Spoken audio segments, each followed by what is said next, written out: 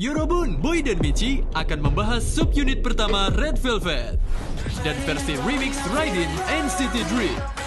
Ada juga rekomendasi film box office Korea yang akan menemani Yorobun selama seminggu ke depan.